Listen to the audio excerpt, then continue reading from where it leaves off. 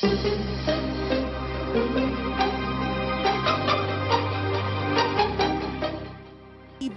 άνθρωποι μέσα εδώ, οι οποίοι έχουν πάρει μετάλλια και είναι οι αθλητές οι οποίοι νίκησαν και δεν καθυλώθηκαν σε μια πολυθρόνα. Πώς θα βγω εγώ στο βήμα να μεταφέρω ένα βήμα ελπίδας; Να δώσω κάτι σε εσάς που όλους περιμένετε με αγωνία. Όχι μόνο στα φάρμακα, αλλά γενικότερα. Ο κόσμος γίνεται ομορφότερος γιατί ελπίζουμε, γιατί πιστεύουμε, γιατί αγαπούμε